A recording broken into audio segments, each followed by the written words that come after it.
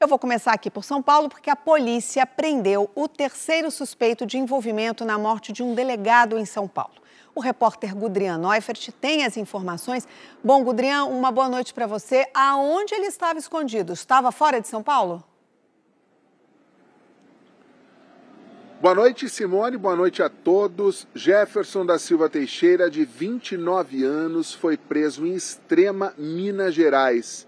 Ele é o terceiro e último suspeito a participar aqui nesta rua, na zona oeste de São Paulo, do latrocínio do delegado Mauro Guimarães Soares.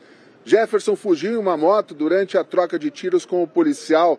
O delegado Mauro Guimarães estava com a esposa e foi baleado na região do tórax, encaminhado ao hospital, mas não resistiu.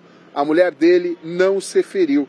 Jefferson vai passar por audiência de custódia em Minas Gerais e depois vai ser transferido aqui para São Paulo. Os outros dois suspeitos de participarem do crime já haviam sido presos.